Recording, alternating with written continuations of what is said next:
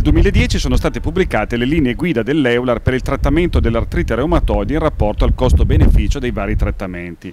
Ne parliamo con la dottoressa Fabiola Zeni in occasione di un incontro di farmacoeconomia che si è svolto a Firenze.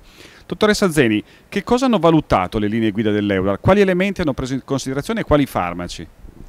Queste linee guida, più che linee guida si tratta di raccomandazioni EULAR, sono andate a valutare sulla base di una revisione sistematica eh, quale può essere il trattamento dell'artrite reumatoide in base agli aspetti economici, quindi hanno valutato i costi dei singoli farmaci e hanno considerato quali eh, sono più eh, costo efficaci per i trattamenti in prima, in seconda e in terza linea.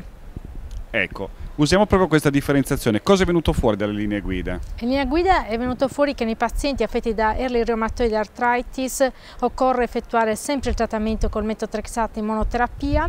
Nel caso del fallimento del metotrexate la seconda linea deve essere effettuata con l'utilizzo dell'anti-TNF più metotrexate. Nel caso del fallimento degli anti-TNF la seconda linea deve essere effettuata con l'utilizzo di rituximab o abbatacet. Ecco, quali sono però i limiti di queste raccomandazioni? Ecco, ci dà in generale un suo commento?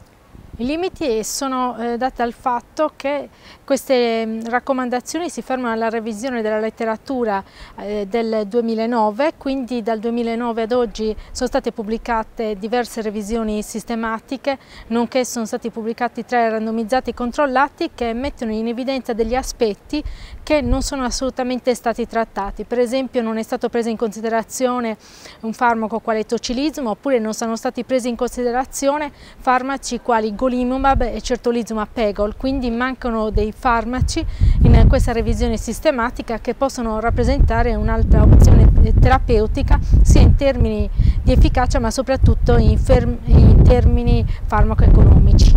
Quando verranno aggiornate abbiamo qualche informazione in merito? Ma generalmente l'Eular ogni 3-4 anni proprio in base delle, al numero di lavori, anche agli impegni dei membri Eular decide di fare un update per cui in questo momento in realtà non si sa quando verrà fatto l'update di queste recommendation dell'EULAR per il trattamento dell'artrite reumatoide in base a aspetti eh, economici.